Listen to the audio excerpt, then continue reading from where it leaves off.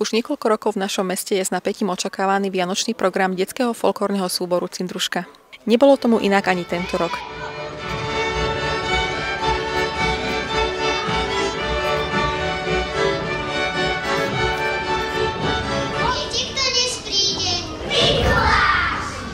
Pani Jurenová, čo ste si pripravili s deťmi na dnešný vianočný program?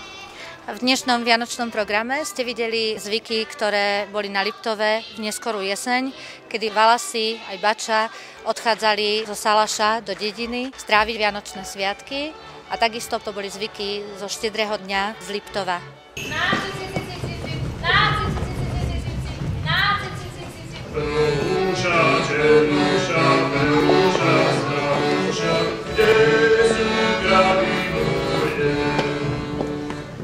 sa spolupracuje s takýmito malými deťmi? Je to ťažká práca samozrejme. S tými malými sa pracuje úžasne. Tí deti aj tým svojim úsmevom a tým, že radi tancujú, tak zase dávajú aj veľa energie späť aj mne.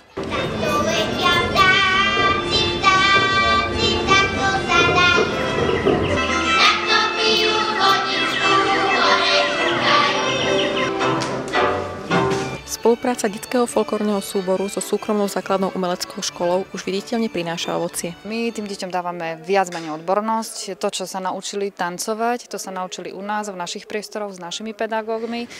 A tú choreografiu, ktorú ste videli, to sa všetko učia v detskom folklórnom súbore Cindruška. Čiže my ich niečo naučíme, pomôžeme im, aby to vedeli a v Cindruške to potom oni praktizujú, chodia s Cindruškou na vystúpenia, na súťaže, na zájazdy a tam prežívajú to kolektívne, to krásne kolektívne atraktívne, čo častokrát e, Zúška sama nedokáže deťom dať. Preto vlastne my spolupracujeme so súbormi, aby, aby toto tie deti zažili. Tento rok sme sa zúčastnili aj slovenských Vianoc v Bratislave na Vianočných trhoch.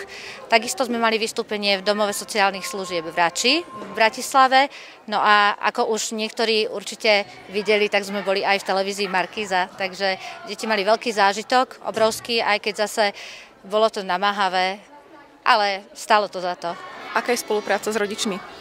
No, rodičia sú skvelí, naozaj pomáhali so všetkým. Mali sme aj tvorivé dielne, na ktorých sme pripravili druhotené hviezdy, aj také svietničky z toho vznikli a tie sme teraz aj na našom podujatí predávali a zisk pôjde vlastne pre deti do Cindrušky. Vystúpenia tých najmenších sú vždy plné nefalšovanej radosti a tá sa v tomto previanočnom čase určite preniesla aj na početné publikum. Lenka Moravčíková, televízia Liptovských rádok.